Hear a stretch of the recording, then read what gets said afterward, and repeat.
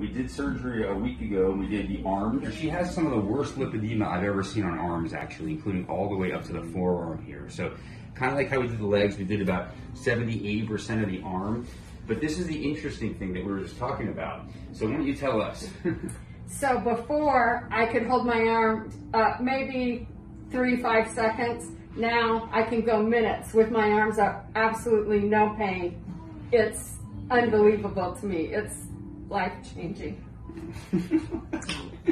well, I'm telling you, it makes it, it, it, I'm telling you, it makes us happy, and we're true. This is what we're trying to convey to people that it is real, it is something, and like I said, your arms, it's, it was some of the worst lipedema that I've seen. By even just removing the nodules and getting it out, you see the difference. Yes, It's literally feel the difference.